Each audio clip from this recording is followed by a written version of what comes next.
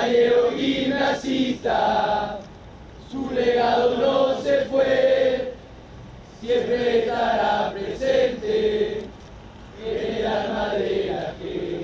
Cientos de tucumanos marcharon abrazados o de la mano y en total silencio para pedir justicia por el crimen de Matías Albornoz Piccinetti al cumplirse una semana que fuera apuñalado en Santiago del Estero al 400. Partieron desde tribunales de Avenida Sarmiento hasta Plaza Independencia.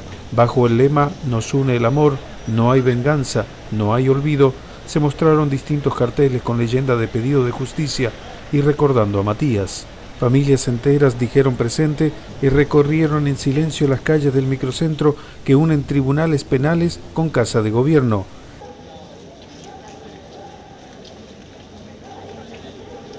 Dieron una vuelta a Plaza Independencia e hicieron un círculo donde encendieron velas en su memoria. El padre de Matías abrazó a cada compañero de su hijo, quienes estaban identificados con una remera blanca que en el frente tenía el escudo del Colegio Gymnasium y una cinta negra, y en la espalda se veía al muchacho asesinado tocando la guitarra, rodeado de globos, esos globos rojos y azules que estuvieron presentes toda la marcha y que fueron soltados en Plaza Independencia.